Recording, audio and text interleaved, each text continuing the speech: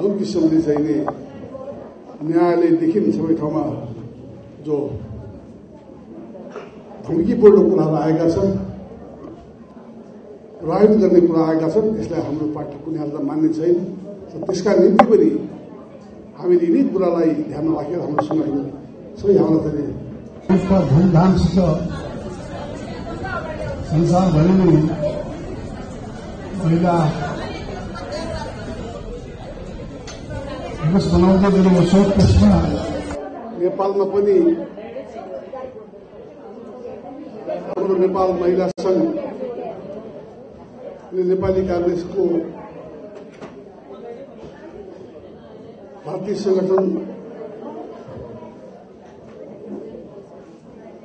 महिला सङ्घबाट जो यो विश्व नारी दिवस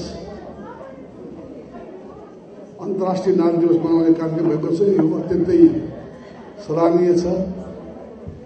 यसका निम्ति महिला सङ्घका सभापति लगायत महिला सङ्घका सम्पूर्ण दिदीबहिनी दिदीबहिनीहरूलाई हार्दिक बधाई र शुभकामना दिन चाहन्छु। यद्यपि